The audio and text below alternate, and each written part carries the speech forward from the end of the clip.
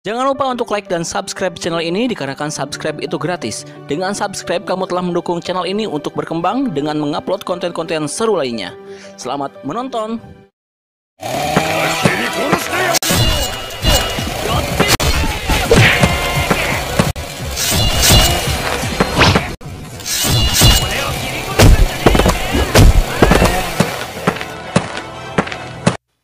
Semuanya, berjumpa lagi dengan saya di Rengki AG Channel. Mohon maaf teman-teman baru bisa upload lagi dikarenakan kesibukan di dunia nyata sehingga proses pembuatan untuk konten berikutnya saya lakukan secara menyicil. Nah, kali ini saya akan melanjutkan konten sebelumnya yaitu membuat karakter animasi dari seri animanga Chainsaw Man.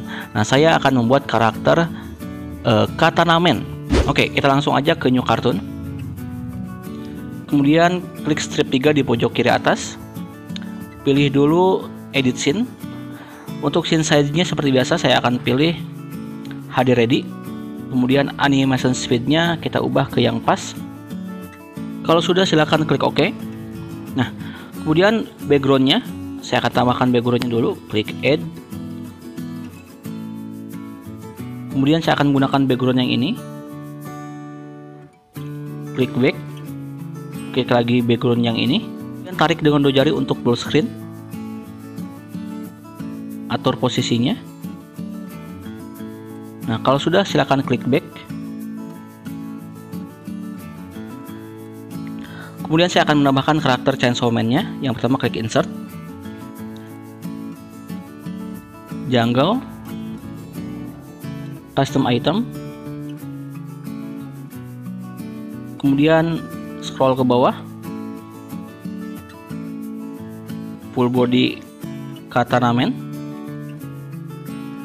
kemudian bagian tangannya. Mana nih? Nah ini dia. Klik. Klik lagi insertnya. Nah untuk karakter katana man ini teman-teman bisa download linknya di deskripsi di bawah video ini. Seperti biasa pilih yang menggunakan password ataupun yang tidak terserah mau yang mana. Oke kemudian saya akan coba pasangkan ya. Bagian tangan akan saya perkecil dulu dan sesuaikan dengan bagian badannya. Ini kekecilan gak ya? Oke kita back aja kalau kekecilan. Saya akan paskan. Coba segini.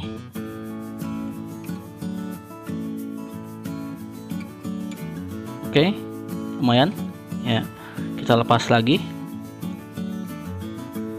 Kita duplikat dulu bagian tangannya. Scroll ke bawah klik salin. Klik paste. Kemudian kita geser dan kita pasangkan di sini. Oke. Kemudian kita ubah posisi tangan yang ini. Kita klik. Klik statis. Kemudian kita sesuaikan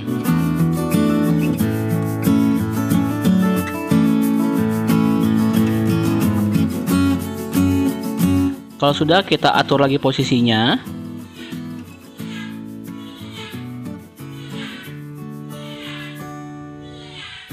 Oke. Oh iya, bagian ini kita pindahkan ke belakang ya. Klik dulu tangannya, klik edit unit. Klik down. Oke, kalau sudah kita perkecil ukuran keseluruhannya sampai sesuai dengan kebutuhannya.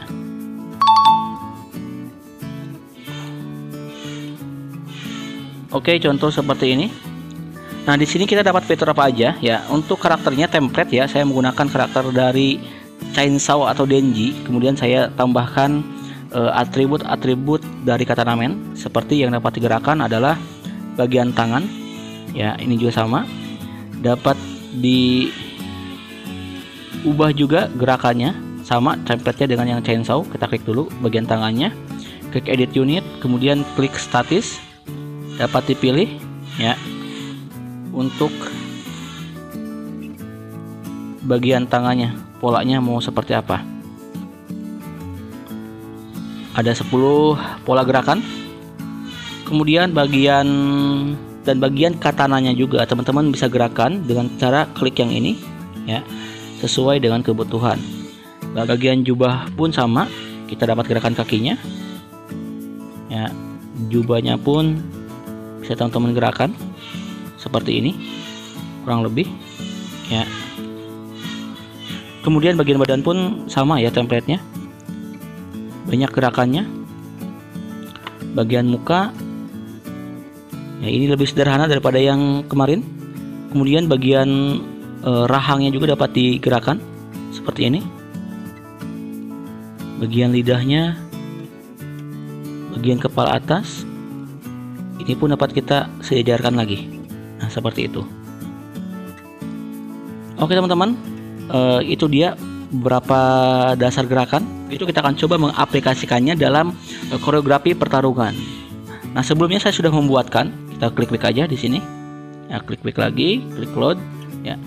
Yang ini kalau nggak salah, ya kita lihat di sini saya sudah membuat sekitar berapa nih?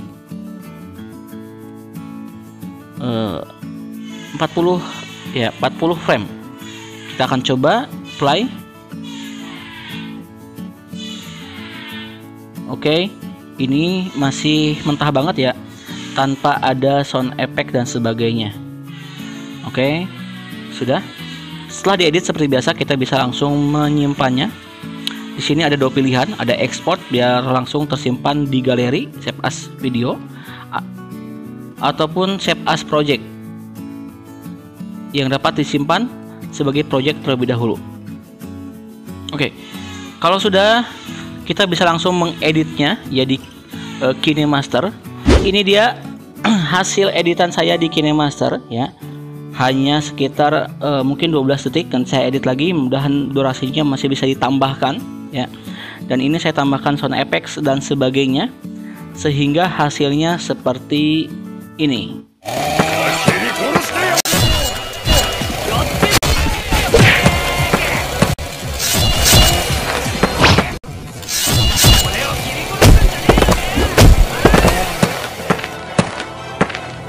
Oke teman-teman mungkin itu aja yang bisa saya share kali ini. Semoga konten kali ini bermanfaat. Seperti biasa Apabila ada yang ingin tanyakan silahkan tulis di kolom komentar. Kita belajar dan saya juga masih belajar Kita belajar bareng-bareng. Akhir kata semoga kita berjumpa lagi di konten berikutnya. Bye bye